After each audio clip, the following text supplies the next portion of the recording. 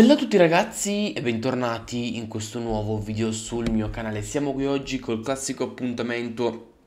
del cosa aspettarci, in questo caso dalla 24esima giornata eh, di Serie B, giornata importantissima con tanti match in miniatura, avete visto Genoa-Palermo e, e, ehm, e Regina Pisa, però come sempre, come gli scorsi appuntamenti, andremo a fare una piccola analisi su tutte le partite. Andiamo un attimo a capire che tipo di partita dobbiamo aspettarci e che situazione stanno vivendo le squadre che si andranno a incrociare in questo turno che parte venerdì ore 20.30 e si chiude la domenica come sempre ore 16.15 mi raccomando però prima di partire col video vi devo chiedere un pollicione su al video tantissimi mi piace qua sotto 30 40 mi piace qua sotto un'iscrizione al canale totalmente gratuita ragazzi mi raccomando iscrivetevi non vi costa assolutamente nulla questo è un canale che parla solo ed esclusivamente di serie B Partiamo, partiamo subito, ma partiamo anche col botto, nel senso perché la gara che apre questo turno è Genoa-Palermo, una gara importantissima perché il Genoa deve dare sicuramente una risposta dopo, dopo, la sconfitta brutta e netta e meritata quella contro il Parma per 2-0 e deve fare di fronte ai propri tifosi, ma non sarà facile perché di fronte trova una squadra che arriva da tre vittorie consecutive da più di 5 risultati utili consecutivi a 34 punti, si passano solo 6 punti Genoa-Palermo e questa è un'occasione importantissima per capire le ambizioni del Palermo perché se la squadra di Corini vince va a quota 37 punti, andrebbe a meno 3 dal Genoa e potenzialmente si potrebbe trovare massimo ragazzi a 3, dai 3 ai 5 punti eh, in meno rispetto al secondo posto perché poi bisognerebbe, bisognerebbe guardare quanto eh, se la Regina vince la sua partita ma comunque comunque è una ghiottissima occasione per il Palermo per cercare di entrare nella vera e propria lotta al secondo posto. Invece per il Genoa è un'occasione importante per, eh, per, per, rifarsi, per farsi valere, per dire che il Genoa c'è, è vivo e, e che questo pareggio per 0-0 e questa sconfitta per 2-0 contro il Parma sono stati due eventi sfortunati, ma comunque il lavoro di Girardino sta proseguendo nel migliore dei modi e questa è una grande occasione per farlo. Quindi subito un big match. un'altra partita sarà su Tirol Como Como sabato ore 14, partita importantissima, nel senso che capiamo un po' questo Sud veramente fino a quanto può spingersi perché arriva da 4 vittorie consecutive, 38 punti in classifica, dovesse vincere andrebbe a quota 41 e potrebbe addirittura ritrovarsi a ridosso della seconda posizione se non essere secondo in caso che magari Regina e Genoa perdono e loro vincono il Sud Tirol potrebbe ritrovarsi clamorosamente secondo alla fine di questa giornata. Quindi una gara importantissima per il Sud Tirol che deve comunque affrontare con la stessa determinazione e consapevolezza che, con cui ha affrontato le ultime gare. Perché comunque il Como è una squadra che ha bisogno di punti ha bisogno di punti salvezza e perché il Como è quindicesimo a quota 26 punti viene da una sconfitta contro la capolista sicuramente vorrà rifarsi e può essere una partita diciamo eh, in, eh, trappola per il Sud Tirol che se vuole veramente sognare e col proprio allenatore sognare con Bisoli la Serie A deve fare anche questo step e vincere queste partite che possono sembrare magari facili sulla carta perché il Sud Tirol sta facendo grandi cose il Como un po' meno ma sappiamo tutti la qualità del Como. Regina Pisa altro match di sabato alle ore 14 match ragazzi importantissimo sono molto curioso di vedere che tipo di Regina vedrò nel senso a livello caratteriale, umano, perché viene da due sconfitte consecutive, tre sconfitte nelle ultime quattro, solo tre punti raccolti e quindi è una regina che non vive un, un bellissimo momento. Soprattutto anche in casa deve rifarsi dopo la sconfitta di due settimane fa e ha una grande occasione per farlo.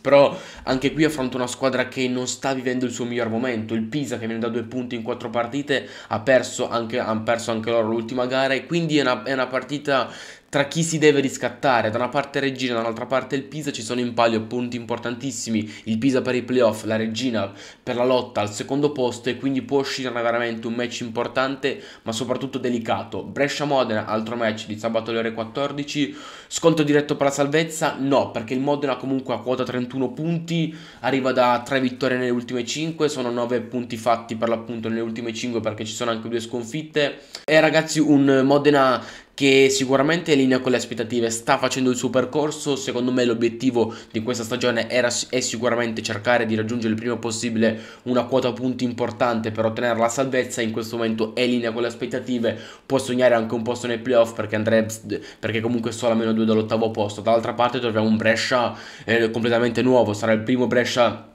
di Davide, di Davide Possanzini eh, raccoglie una squadra che arriva da un punto nelle ultime 5, 4 sconfitte consecutive, l'ultima pesantissima per 4-0 contro il Perugia, c'è tanto lavoro da fare, non, sa- non, sarei sorpreso se il Brescia dovesse fare una partita proprio di orgoglio, di carattere e magari riuscendo anche a portare a casa un risultato positivo perché può succedere quando c'è, quando c'è uno scossone così e soprattutto quando arriva un nuovo allenatore e, e, poi soprattutto per il momento che vivi potrebbe, potrebbe, toccare quelle corde giuste a livello morale che possono far rendere la squadra ragazzi in un modo migliore rispetto alle ultime partite. Frosinone Cittadella la capolista affronta il Cittadella sabato alle ore 14 eh, il Frosinone dobbiamo capire un po' se continuerà questa marcia fino a questo momento praticamente perfetta 11, in più della 11 punti in più sulla seconda 12 punti in più rispetto alla terza dovesse vincere anche contro il Cittadella che comunque non è facile perché Cittadella è ripresa e bisogno di punti salvezza, però io credo che il Frosinone in casa abbia una grande chance per continuare, per mettere la sesta vittoria consecutiva.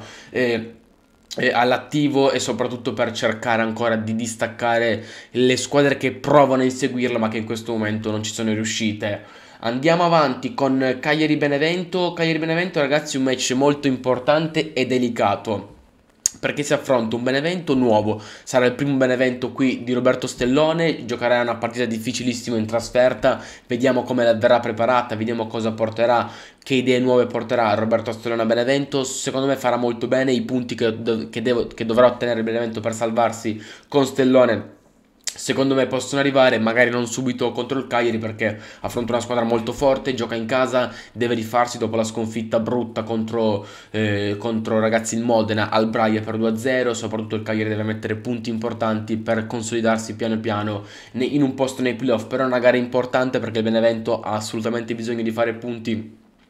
in chiave salvezza e quando arrivi a questo punto del campionato con questo tipo di classifica come c'era il Benevento penultimo eh, ragazzi a quota 23 punti si è obbligato a fare punti su qualsiasi campo. Venezia Spal altro match dell'ultimo match di, di, del sabato alle ore 14 abbiamo un Venezia che lavora, lavora bene secondo me Vanoli sta facendo un lavoro per il momento sufficiente importantissima l'ultima vittoria quella esterna a Benevento per 2-1 ha dato morale il Venezia è un grandissimo attaccante che poi è un Paolo che se metti nelle condizioni condizioni di servire, può darti tante gioie con tanti gol. E il Venezia è obbligato a fare punti così come il Benevento, così come la Spal, è una squadra obbligata a fare punti per cercare di, di ottenere questi, questi punti salvezza, sarà uno sconto diretto importantissimo in chiave salvezza, vediamo cosa ne uscirà fuori, per me il Venezia è più avanti nel percorso rispetto alla Spal di De Rossi. E ho visto per appunto Rajan Engolan molto in forma, capace, determinato e che vuole fare la differenza. Ascoli Perugia, primo match di sabato alle ore 16.15, match importantissimo, scontro salvezza assolutamente importante, capiamo quanto il Perugia è veramente in crescita, quanto può dare questo Perugia ancora a questo campionato, Deve, potrebbe raccogliere la terza vittoria consecutiva, però di fronte ragazzi a un Ascoli che comunque viene da un momento tragico, quattro sconfitte nelle ultime 5, un solo punto raccolto, sarà la prima di Breda, da nuovo allenatore per l'Ascoli, vorrà far bene, anche qui magari verranno to toccate certe corde a livello morale, di orgoglio e quindi l'Ascoli potrebbe fare una buona partita, quantomeno sotto l'aspetto dell'atteggiamento, però il Perugia in crescita, sta bene fisicamente, gioca bene a calcio, sa fare punti e Castori in questo momento è l'arma in più di questa squadra. Chiudendo ragazzi con Ternana Parma e Bari Cosenza, su Bari Cosenza è un match tra una squadra che deve assolutamente tentare di fare punti per rimanere aggrappata alla speranza della lotta a promozione diretta, ovvero il secondo posto, il Bari a 36 punti, importante l'ultima vittoria, quella a Ferrara per 4-3, nonostante il blackout degli ultimi minuti, però comunque il Bari può confidare in un attaccante straordinario come Wanid Kedira, affronterà il Cosenza a fanalino di coda a quota 22 punti, però da non sottovalutare perché in un buon momento 4 punti nelle ultime due, eh, 5 punti nelle ultime 4 e quindi il Cosenza piano piano sta cercando di costruire un mattoncino alla volta i suoi punti per cercare magari a giugno di giocarsi poi i playout. Ternana-Parma, match importantissimo per la lotta alla, ai playoff. Vediamo questo Parma se dà per una volta con, a continuità una vittoria straordinaria, quella contro il Genoa per 2-0. Ha, ha un'occasione importante, si deve, di, eh, si deve, riconfermare, però dovrà farlo contro una Ternana che secondo me è leggermente in crescita. Sto iniziando piano piano a vedere la vera Ternana di Lucarelli e sarà un bel match aperto, sicuramente molto combattuto, con due allenatori validi, con idee importanti, con due squadre forti, con giocatori tecnici che si affronteranno e può venire fuori fuori veramente una bella partita importantissima in chiave playoff. Fatemi sapere la vostra qui sotto con un commento, pollice in su al video, iscrizione al canale, noi ci becchiamo a un prossimo video. Bella ragazzi!